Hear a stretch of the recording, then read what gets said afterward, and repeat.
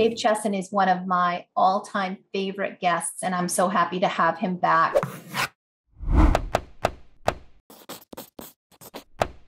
Hello, April Cox here. I am so excited to have a special guest speaker with us today. His name is Dave Chesson, and he is the founder of Kindlepreneur.com. He's somebody that I've looked up to for a long time and modeled a lot of the things that I do for other authors based on the stuff that I've seen him doing. He has inspired me through all of what he does for authors, the articles, the feedback, the interviews that he does, his podcast, all the free resources, AMS ad training, everything that you can get as an author through his website and all of the great knowledge that he drops. So it has been a huge encouragement to me and a great example for me to follow. And I am so happy to have him here today. Thank you. It's so, funny you say the inspired thing. I'm actually wearing a t-shirt that says that. Stay, stay inspired. inspired. I'll just provide a little brief intro. You are a doting dad with two amazing kids, all about family, ex military, a bit of a geek, which I absolutely love because I am a propeller head myself, loves Star Wars and Lord of the Rings, and loves self publishing and writing and creating books and tools. So tell us a little bit of something that we don't know about you. Sure. Well, there's actually two parts. First and foremost, I have dyslexia, which is one of the reasons why I really focused on understanding the market just a little bit better. I've never been gifted in the ability to just sit down and write anything I can think of and people enjoy it. I remember uh, being in high school and my English teacher had us like have some assignment about writing some life event and my dog had just passed away. And so I thought this is that moment that emotions are going to come, you know, through my fingertips and I'm going to be able to write something and I'm going to finally get an A too. Not that I'm using my dog's death to improve my grade, but that being said, I thought this was it. I feel passionate about something and yeah, no, I was a D minus. Um, so I've always struggled with writing. And so that's why for me, if I was going to spend all that time really focusing on a book and trying to put something together, I wanted to understand what it was that people wanted to hear about, or how could I change the message that I had that would fit an existing market. And so that's really what kickstarted this entire thing. A second thing is I have three kids. My oldest daughter, though, is 21 and she's off in college. She's uh, doing her senior year at Lehigh University. She's an all star softball player, ranked habitually in the top 10 for many categories in NCAA softball, D1. So, really nice. proud dad moment. Get to go see her play softball all the time. Anybody who's Facebook friends with me, I always apologize come February because I then say, my Facebook page is now Jalen stat page. you know. I love it but yeah, so those are just kind of two of the other things. I did the military. I was a submariner, did nuclear engineering, then transferred into military diplomacy. I did a lot in South Asia and East Asia, a lot of incredible fun events, I guess is the best way to put it. and now I get to be home full time with my kiddos uh, writing and being able to jump on like things like this. So that's wonderful. We're so glad that you do. So let's start with just kind of some general questions. What are the most important things that an author needs to do to ensure their books get discovered. exactly what you were talking about. Yeah. So, you know, Amazon is one of the world's largest book markets, and people generally are now thinking Amazon first instead of any other store. So they'll go to Amazon and they will start looking for the kind of books that they want to see. They go to the search bar. Maybe they're typing in a recommendation that a friend had. Maybe there's a category that they really love. Like I'm a diehard lit RPG cultivation fan. And by the way, there's a, over 14,000 categories on Amazon. So something like lit RPG cultivation is actually, you know, in existence. And so people have their way of finding what it is they want. And Amazon uses your information about your book to kind of help figure out what book to show. Let's face it, if people continue to go to Amazon and typed in, we'll say, going back to school children's book, and Amazon constantly presented, say, get your GED or college prep books or, you know, erotica or something just completely off, all of a sudden people would stop using the store Mm-hmm. And so it's really important for Amazon to get that right because we have trust that Amazon's going to be efficient and effective and it's going to save me time. The moment they stop doing that is the moment that they're going to lose mass market and it's going to mm-hmm. open up an opportunity for Walmart and all these other stores that would love to gain that, that advantage or Barnes and Noble for that matter. So you have to understand that as a store, they really need to do their best to show the right product. Now, the interesting thing about this is that we have to remember that Amazon is not a human. Now, I, I know that sound you're like, duh, Dave, but I'm going to keep saying this phrase because I think it will help us to understand why Amazon does what it does. Amazon needs calculations, it needs a program, an algorithm, oh, lots of algorithms to help them make the right decision instantaneously. So they need input. They can't read your book like literally and come up and say, "Oh, I got it. This is clearly a book that does X, Y, and Z." Now, there's some mm-hmm. factors that they can pull from your book. That's true but they need you as the author to help them kind of fill in the rest of the context. Okay. And when you give them that information and it fits with where there are openings, your book is the thing they'll start to present.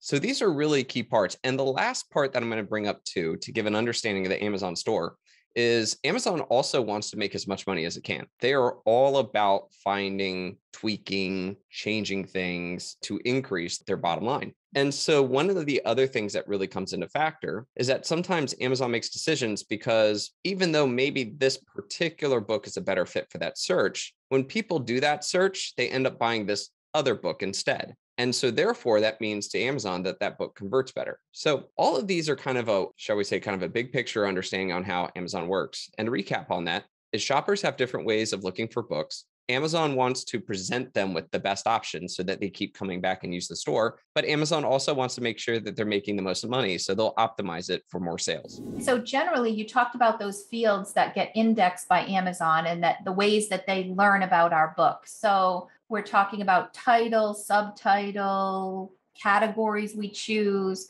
and those seven keywords. Are those all treated equally? The description matter? Where do we really focus our attention if we want to make sure that we're getting noticed and indexed by Amazon? The three biggest ways that Amazon uses, or the three biggest parts, right, to get the most information is your title, your subtitle, and your seven Kindle keyword boxes. The reason why these are important is because it's crucial that if somebody types in the title of your book, right, that's probably the best search result is to show your book. On top of that, too, it's probably the best conversion. So, again, going back to what we just talked about and implying that, that's why the title is so important. And I say title and subtitle because I know, kind of being under the hood on programming wise, Amazon doesn't separate a title and subtitle as a data unit. So that tells me that Amazon sees title and subtitle as one thing. So I like to say that the title and subtitle is just as important. So if you as a writer are like, well, I have this amazing title and I don't want to put keywords or certain phrases in there, cool, do that. But then explain it a bit in your subtitle. For example, so I talked about lit RPG, right? And that's literature role playing games. That's usually some kind of book where the person's stuck inside a video game of some sort, you know, or they're leveling up their character. When I type in lit RPG cultivation, how am I supposed to know from the cover that that kind of fantasy book is exactly that? Right. Instead, though, I don't want somebody to title their book Lit RPG Cultivation Adventure because that just sounds so dumb. You know, that doesn't sound right, you know. But what I love to see as a shopper is that the person explains to me in the subtitle that it's an epic lit RPG cultivation adventure novel. Now I know for sure. Okay, got it. This is truly what I'm looking for. So it's really good to use that subtitle to really help to explain what kind of genre this is specifically, or in in nonfiction, you know, the pain point, the result, and who this is for. Okay. These are all really help me to secure. So that'll help in the conversions and that will help with telling Amazon what this book or who this book should be presented in front of. And the last one is the seven Kindle keyword boxes. And that's your ability to tell Amazon straight up, all right, this really is this kind of book. This is the kind of characters. This is kind of, you know, a plot theme. Like all of those aspects are really good fiction category keywords, if you will, keywords groupings or a nonfiction. This is the pain point, the results, agitators, the demographic. This is who this book is for. And so Amazon uses those three main inputs to kind of help figure out okay, not only where should we put this, but also it would help with getting the right shopper to find your book. And I say that I know that those two statements kind of sounded the same, but let me explain that a little bit. Amazon may put your book in front of something, but if that's not the right shopper, right? The shopper's going to see your book and they're not going to buy it. Mm-hmm. So mm-hmm. making sure that you truly fit the fit that. I've seen mystery novels get put in there for mystery, but what they really were was like dark gruesome murder type things. And so people would show up thinking it was a nice mystery novel and they would read and be like, whoa, and give them like a one star for the heinous murder scene that opened the first chapter, right? So again, it's about getting your book in front of people, but making sure you're in front of the right people. Right. So we just said that the three biggest ones are title, subtitle, and keywords. I would say the next one is the selection of your categories. That's like the strongest indication of, hey, my book truly fits in this area. Okay. It mm. has elements of this, this, and this because I want to be next to those books.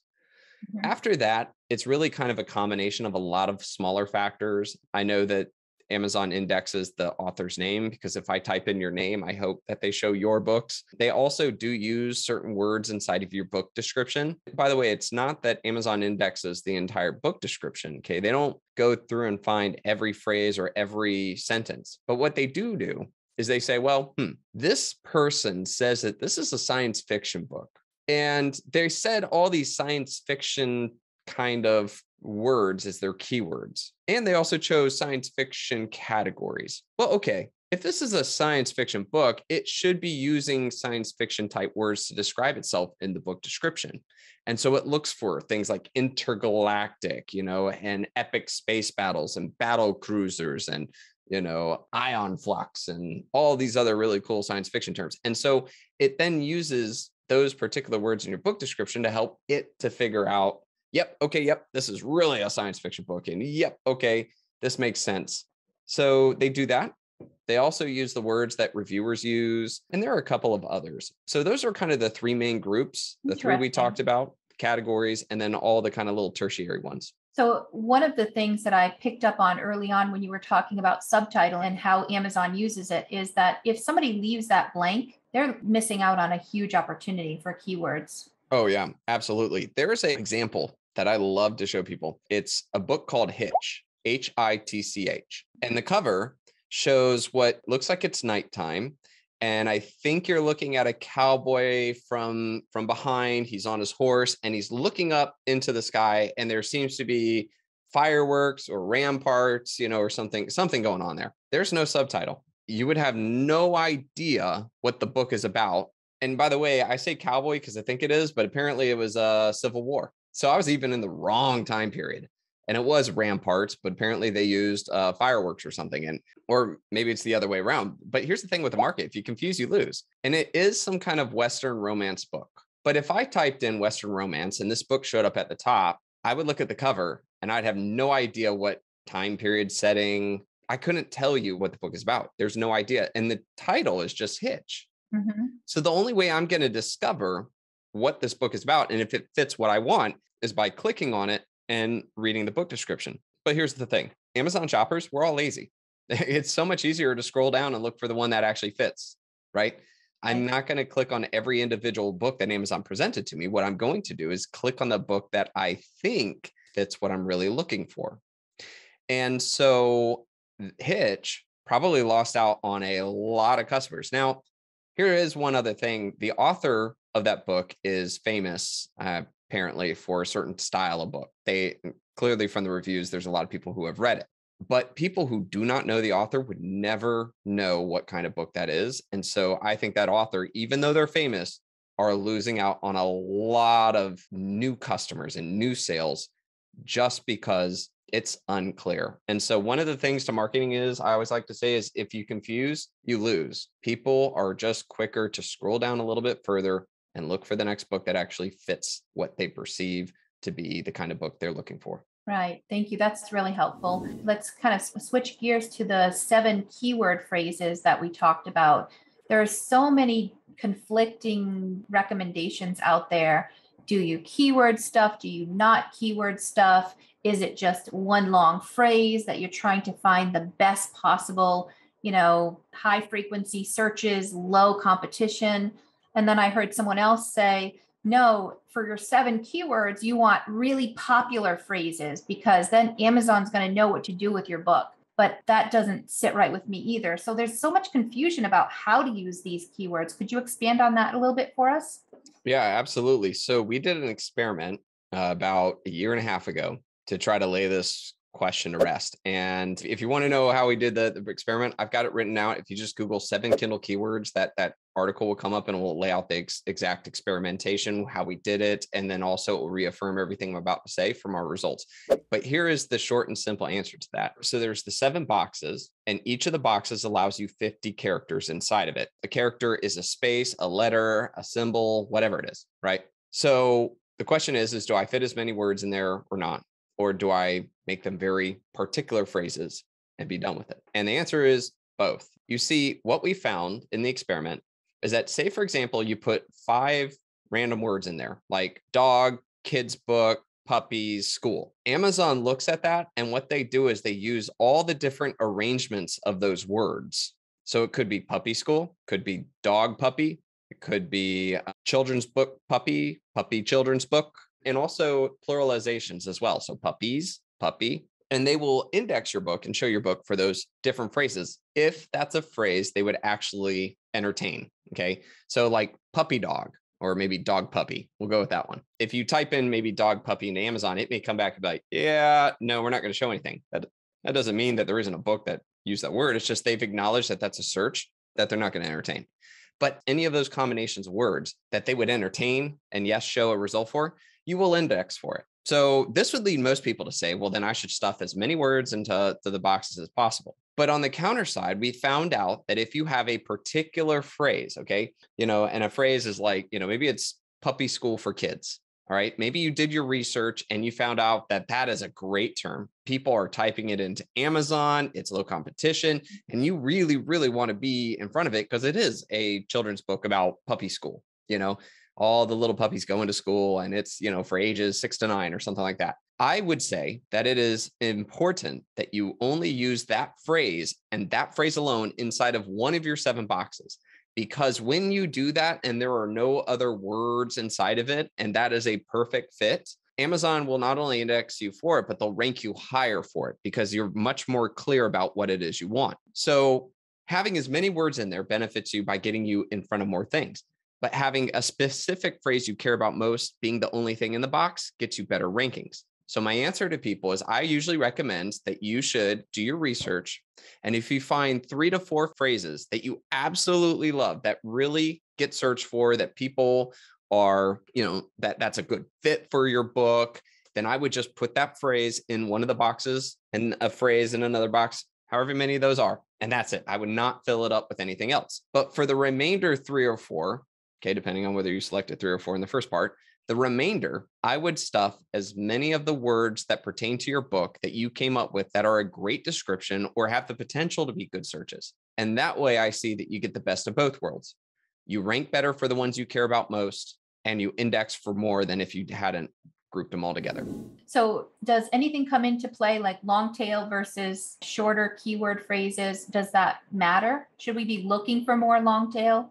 Yes. keyword phrases for those boxes? Absolutely. Long tail. So, for those who might not know that term, long tail is a more descriptive phrase, right?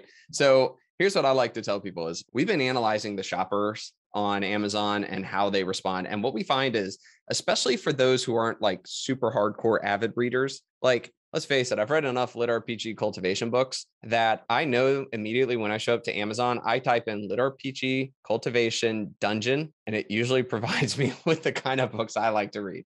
So I already know what I'm going to look for. But the majority of Amazon shoppers aren't like that. And what they will do is they'll go in and they'll say, all right, fantasy book. And then they look and they see the list of all the books that Amazon presented. Now, what are the chances that Amazon is able to present the exact kind of fantasy book that I like. So most shoppers, instead of erasing what they did or giving up or whatever, or clicking page after page after page to look at them, they'll say, okay, well, I like epic books like Lord of the Rings. So maybe epic elves. And so they'll add that term like epic and elves to it and then hit search. And then they'll see the list and okay, I know too many of these look gruesome. So maybe I need to put a word in there that that turns it to lighthearted, or maybe I'm a, I'm a child or I'm younger and I want a young adult. So I'll then add young adult to it. And so all of a sudden, I finally find the exact kind of books I want when I start to see fantasy book, epic elves, young adult. Mhm. And it's funny is, is that those phrases get searched a lot. Like a lot of people end up on this path. And what's really neat about those terms is that they really are very particular. If I showed up number one for fantasy book, most people that type it in would not like my fantasy book or say this is the one. But if they typed in, I'm just making this up here, but if they typed in fantasy book, epic elf, young adult, and that's exactly what I am. It's about elves, they're young adult, you know, it's it's meant for children. It's got the right cover that fits them. A majority of the people that type that in will probably select my book, especially if I rank number 1 for the search results. So I think that the long tail terms are much more important. You might say, well, more people search for fantasy book than, you know, fantasy book, epic elf. I got to come up with an O. I can't remember them all Right. um, but I would say I'd probably make more sales from that long tail term than I would from the broad term. I would absolutely love to rank number one for Lit RPG Cultivation Dungeon. I'm pretty sure I'd make more sales if I ranked number one for that than if I ranked Fantasy Lit RPG. So long tail keywords is not just about your Amazon ads, it's about those seven keyword boxes as well. I think that's good for us to understand. And one of the key features that I love with Rocket is the ability to find low competition categories. Does it shoot us in the foot if we do a lot of low competition categories that maybe have something to do with our book and maybe we'll rank higher and we'll have a better chance of getting that bestseller badge. Like, for example, my book is Little Labradoodle series. It's about dogs, it's about social emotional learning, things like that. But there's a lot of aspects to it that I could choose categories that are much less competitive than certainly dogs, right?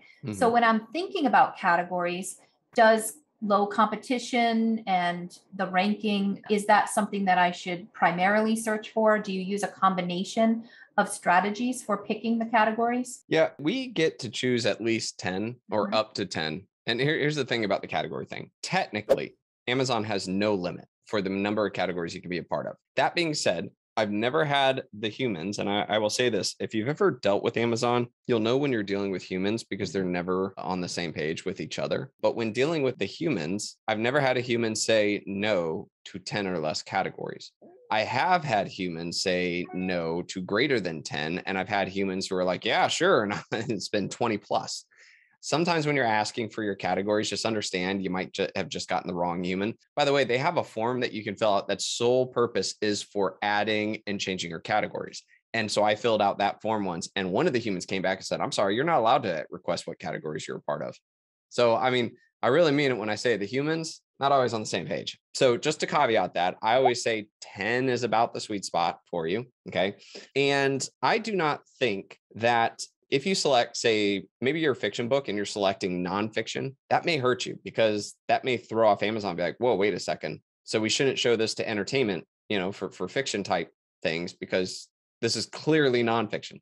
I think that kind of differentiation would hurt you for sure. That's massive. It might be a book on how to write fiction, right? And you may have fiction words as your keywords, but the fact that you've chosen nonfiction immediately tells Amazon this is a learning book and not an entertainment book. That is an example where I think there's a major importance. Now, if say for example, again, I'm going to say it to you guys as, you know, as authors, it's up to your decision on your reputation, okay, and what you believe is right.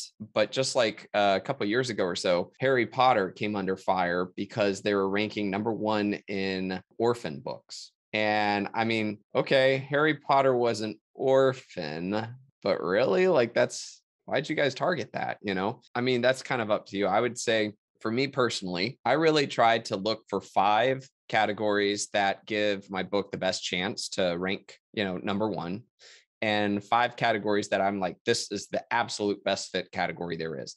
I think that that kind of approach to it gives me the best of all worlds. And I'm just saying, don't do something that's completely opposite of what your book is just because it's so easy to get number one. I've seen a lot of spammers out there who they come out with this book on like dieting, but they found this IT technology category where if you sell one book, you'll be the bestseller. So they made that their thing just so they could say their diet book is a bestseller. Uh, I wouldn't recommend that. So The reason why I recommend five and five is two things. Number one, to go after categories where you have the best chance of of hitting number one, especially habitually, is really, really good. Uh, that really helps, not just from the whole perception of, yay, you know, I'm a bestseller. That is cool. But when you are a bestseller, Amazon puts that bestseller tag next to your book in the search results. Okay. So if I search, you know, say you're a bestseller in this category and I search, you know, puppy school and your book is like number five on the results. Okay. Not number one, but number five. Your book might be the only one that has that bestseller tag, which means that me as a shopper will see your book and it will stick out even though it wasn't number one. Mm-hmm. And it will make me stop, give pause, look at it, and maybe click on it. And if I click on it, I just send a signal to Amazon that, hey, when people type this in, this book is the one that people stopped at and paid attention to over mm-hmm. one, two, three, and four. And then if they buy it, then it's like, oh, well, if this happens more and more, Amazon says, hmm, this must be the, the book people want. And so they'll move you up to number one. So that bestsellers tag can really help with all of your rankings because you're going to stick out more and they're going to get more interactions with the shoppers. The second thing that happens too is that when you do have the bestseller tag, think of it like social proof. You know, they say in like in online marketing that if you're able to show that lots of people have like this or following this or so, then it makes other people less likely to reject it. Kind of gives them the warm and fuzzy feeling that this is the right choice. Well, the bestseller tag is kind of that same thing. When I show up to your book sales page and I'm reading your book description, because you're a bestseller, it tells me there's clearly a lot of other people that have made the decision to buy this.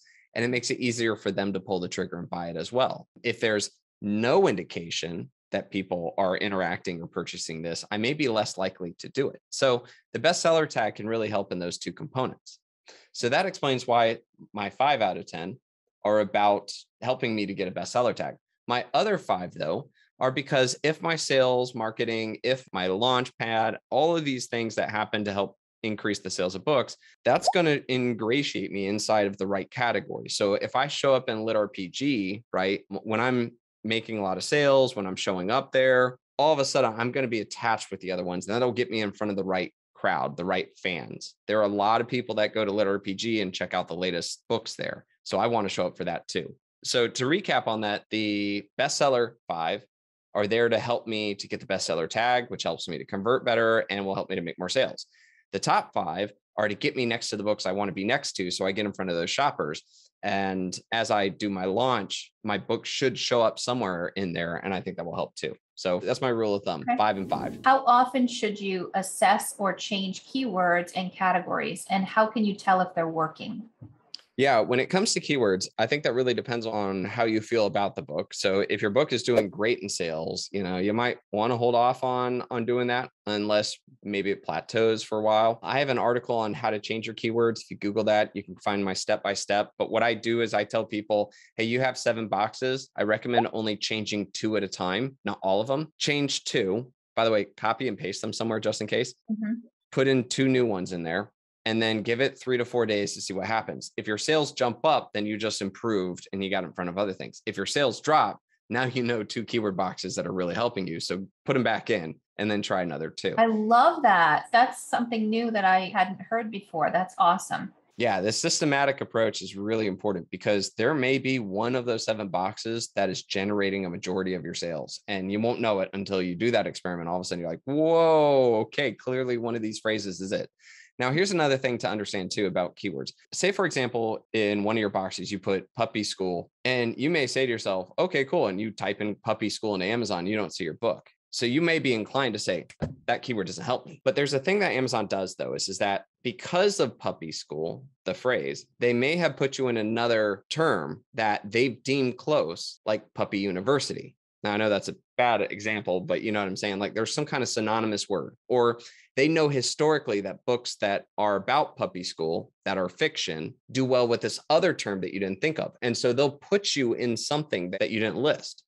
Mm-hmm. And that term may be the one that's actually making all your sales for you. But the moment you get rid of puppy school as one of your blocks, it will remove you from that other term. Mm-hmm. So my recommendation is just because you're not showing up for that term does not necessarily mean that that term isn't helping you. And that's why if you do the changing of your keywords, I think it's really important to just do two at a time and monitor. Great segue for a question from Lois. She says that she searched for specific books on Amazon by their exact title or even the author name and it doesn't show up on either one of those searches. But going to Google and doing the same search, she finds the Amazon listing. What's going on there? And, you know, what can we do to make sure that that doesn't happen to our books? So, like, for example, say your book is your book title is very unique, right? Like, it's not like how to stop smoking, right? I mean, because there are a lot of books that will compete for that. If Amazon sees that people have been typing in the title or so and they're not selecting that book, what Amazon will sometimes do is that they know people are searching, but they're not converting on the thing they're looking for.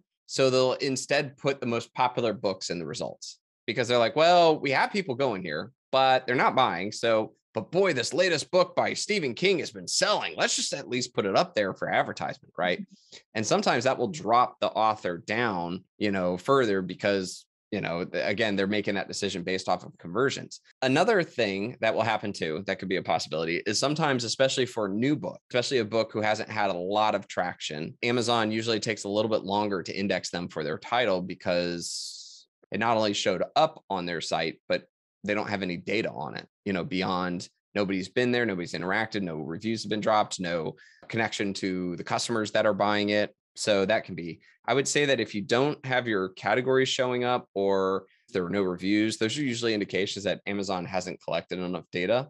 But those are only a couple of the cases. I can't explain them all. I've seen a couple where I'm just like scratching my head. I was like, I, I don't know what happened there. Is there a way to accelerate the indexing process with Amazon or things that we might do that might prevent them from indexing that well, we watch out a for? couple a couple of things like if you have a launch plan right so as in when you go to launch your book on amazon having a plan on ensuring you're getting people to your book in some way shape or form whether that's arc review team or that is a book promotion sites or all of these other things those things help to show popularity in life at your book and that that gets amazon to pay attention Okay. So that is one important component to it. Another thing, by the way, one of the tricks, and I, I say trick here, I will make it public here because I know that you guys are all good people. I, there's like a lot of times when I'm writing on Kindlepreneur, like I have to hold back because there's good tips for people, but like spammers could get a hold of it and they could use it for wrong, you know? So one of the things I like to do is that if I have a target keyword that I truly want to rank for, like say puppy school, and I have people on my email list or people on my beta team or ARC team that I know are going to go purchase it, I will, instead of sending them the link, I'll say, Would you mind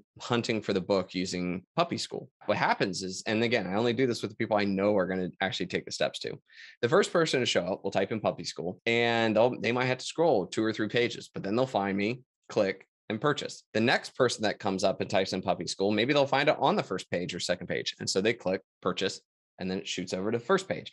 And usually, you know, about maybe five people or so by that time, you're ranking number one for it. Now, this isn't hacking the system and this isn't going to break Amazon. And the reason why it won't break Amazon is because the moment that Amazon starts putting you number one for that keyword term and you no longer have people who you've influenced to go search for it and purchase it that way, now it's up to the actual shoppers to figure this out.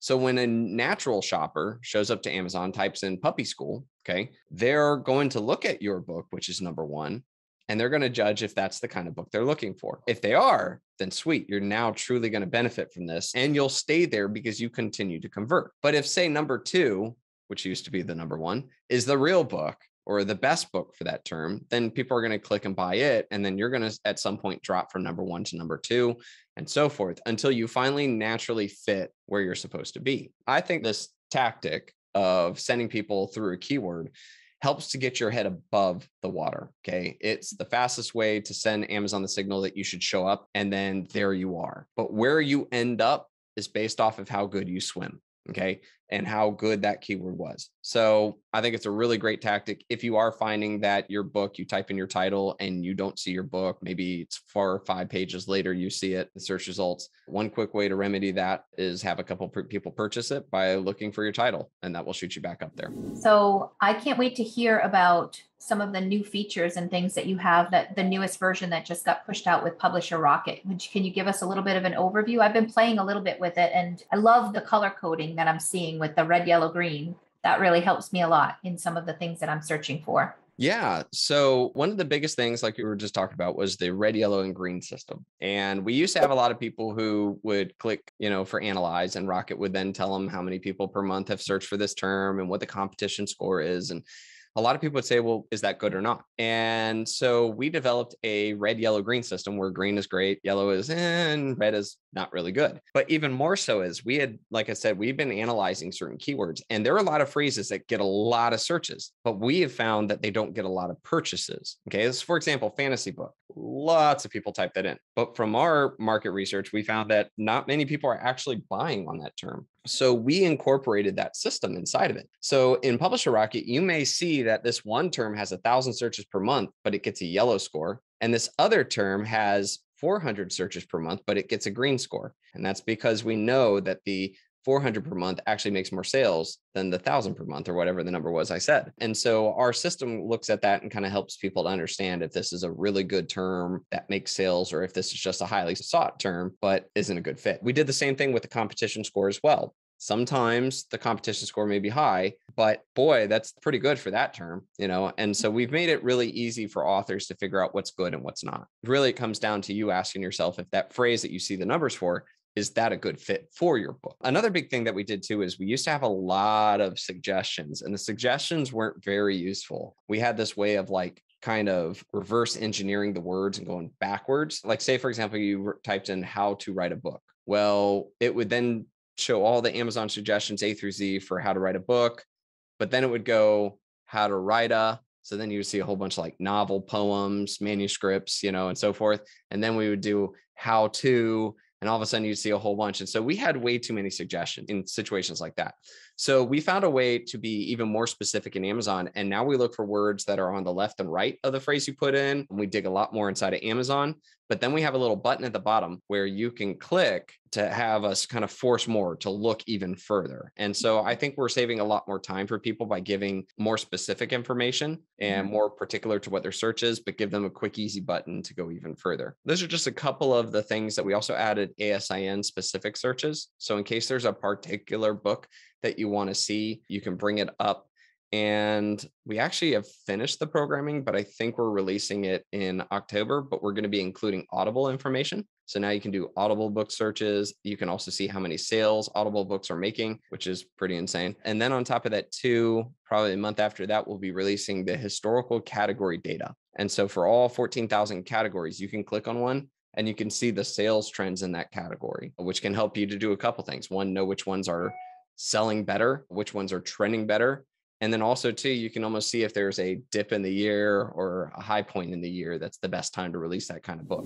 I've also found that the fact that publisher rocket has this ability for me to easily when i'm doing searches and doing ams keyword searches it gives me the results that i can export along with the asins of all of the you know matching books that came up that i've targeted with that keyword search so I'm able to easily use that to throw it into a, a product specific ad targeting those books that are similar to or also indexed for that term that I would like to be indexed for. So I love that. I think that's that's really helpful and I've found some keyword search tools just don't have that ability and that's one of the things that I really like that stands out with Rocket as well. Yeah, absolutely. I see a couple of questions about KD Spy. KD Spy is a different program. KD Spy is a Chrome plugin. They're really awesome in the fact, like, if you're on Amazon and you're searching and you want to quickly see like uh, how much money this book is making or so, you click the little button and it pulls it right there. One of the big differences between Publisher Rocket and KD Spy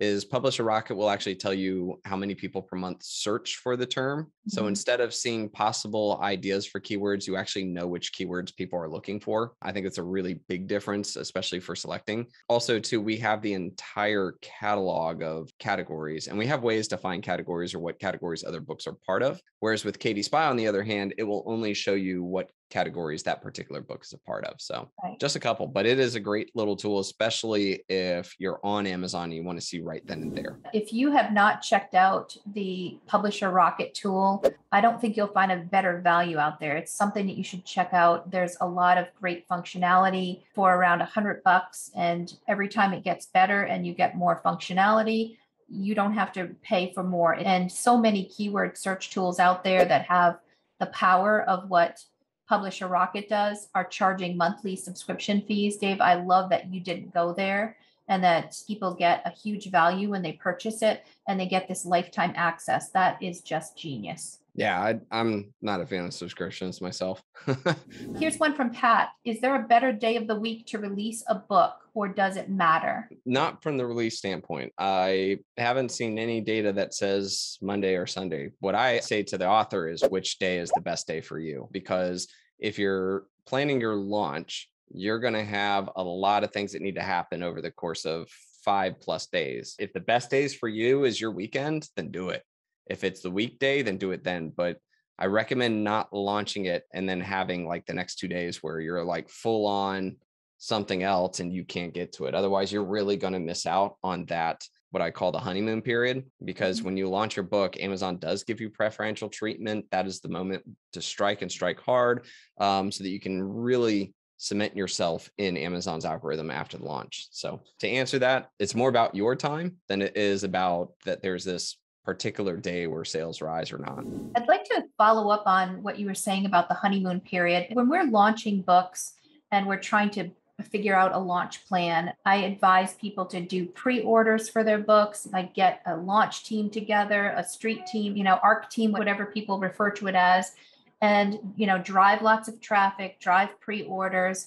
The one thing that I've kind of myself and some of the other coaches that I've seen out there differ is when do you launch the ebook and then the print book so in one line of thinking is get the ebook out there you know a couple of weeks a week ahead get some reviews going and then your print books can follow a week later but now others are saying well if you do that you're kind of messing with your honeymoon period you really need to launch them together what do you think about that so I think it depends on the author. If you're new author, you don't have a large following, I don't recommend breaking up your system. Instead, I would recommend launching them both at the same time because there are certain people, like myself included, I'm not much of an ebook person, especially in nonfiction. In fiction, maybe I do ebooks, but in nonfiction, I like to have the physical book and I like to take notes.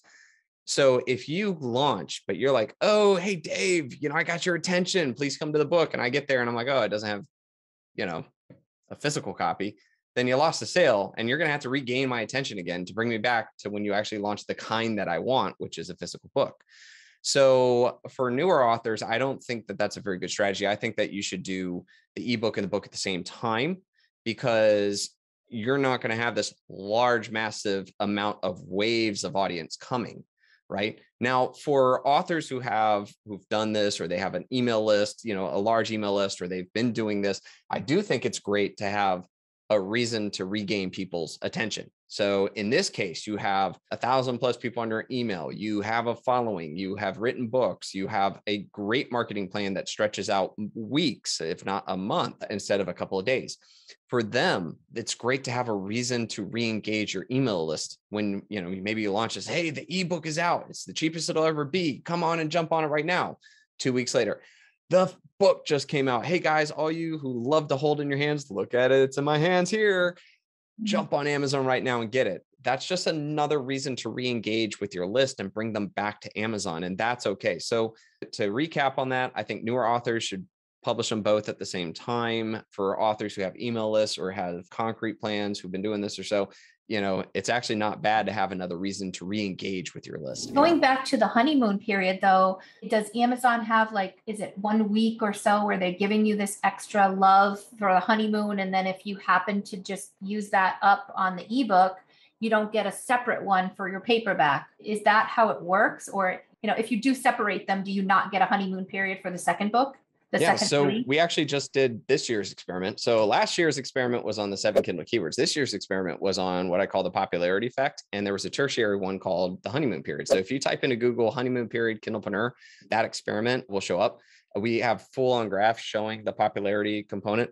Here's the thing there is no set time for the honeymoon period. It really depends on a couple of factors. It depends on how much consistent sales you show Okay. It also ties into the level of competitiveness in the general area you're in. So, what I mean by this is that if you have say three or four weeks already planned with great marketing that shows that you're continuing to bring new people in and to engage and amazon sees that that honeymoon period will last a lot longer than the person who didn't okay? The person who maybe had a giant surge on the first day and nothing after that. The second thing is that it also depends on the competitiveness. So if you're say fighting for romance novel okay you're showing up for romance novels or you know these really really good terms for whatever your book is then you will have probably like a shorter fuse, if you will, a quicker time for a hook off the stage. First sign of trouble, maybe you'll get ganked first. Whereas, like maybe a different area where there aren't as many books, you know, that are being introduced as new books and Amazon can give you longer and you're showing them that you're still doing good in that spot. Those are some of the ways that handled it. But yeah, like I said, check out that article. We, we built these okay. graphs to kind of quickly Wonderful. help to understand that. But I think the most important part for a launch is consistent sales and not highs and lows. I, I tell people that I believe that let's say there's two launches, launch A and B.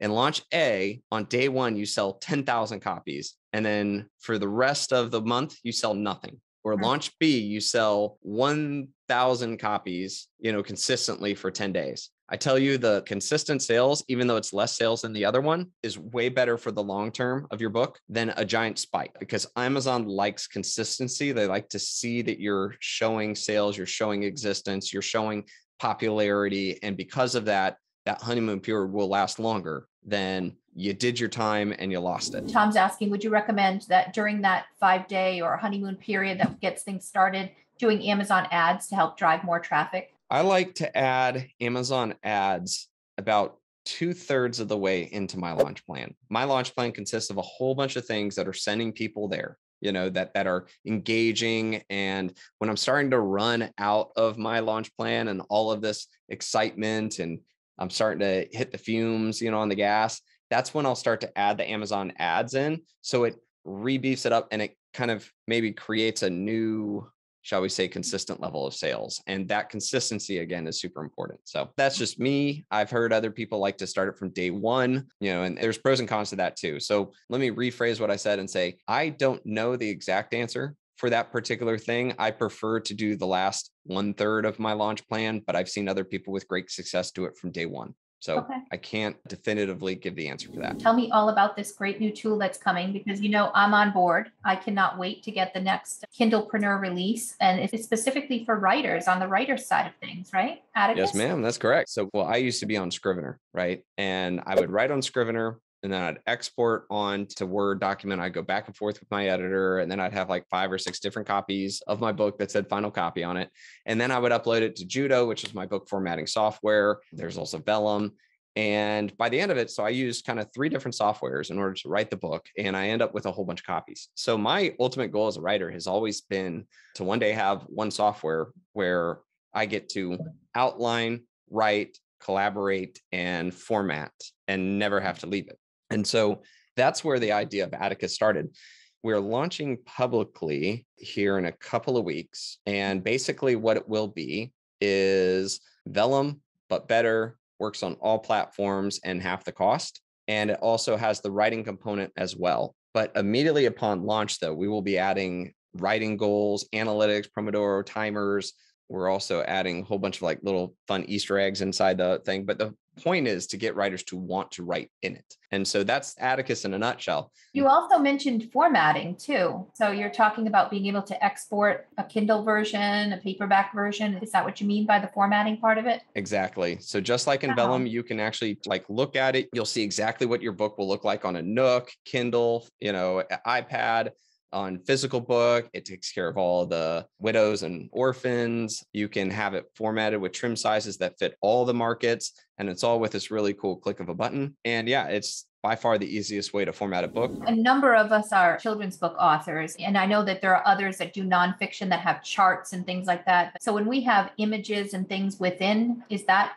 going to be supported as well with regard to the formatting aspect? Yeah, images for sure. We also have full bleed image, and you can also design special chapter themes as well in case you were doing that. So, yeah, like I said, it was for me, I think the only wow. answer out there was Vellum for most authors, but it really didn't support a lot of nonfiction components. And on top of that, too, it only worked on Mac and it was 300 bucks. So that was kind of our way that we'll start in the market is by giving all the authors PC and Mac their ability And like I said, design it in a way so that authors can write, edit, and format all within the program without having to leave. For anybody, if they're looking at Atticus, you can go to atticus.io now. And if you sign up for the waitlist, we'll let you know that you can jump on it in our what we call our private offering. And it's $117 in the private offering. But when we go public, it'll be 147 So and it's a one-time cost and that includes all updates. So Okay, that sounds wonderful. I'm in. Tell us a little more about where people can find you, follow up on information, or if they have additional questions, how should they contact you? Yeah, well, you can find me at kindlepreneur.com. I've got a contact page there. It's right there in the footer. If you have any questions, more than happy to answer them. Wonderful. Well, thank you so much for taking time out of your busy day. I'm glad you were here to join us. Thanks for dropping so much great knowledge and helping us get to the point where we can get our books discovered on Amazon. All right. Thank you so much, Dave. Have a wonderful day, and I hope you feel better. Thanks, everybody, for joining us. I hope you got a lot out of this. Thanks again, everybody. Have a wonderful day.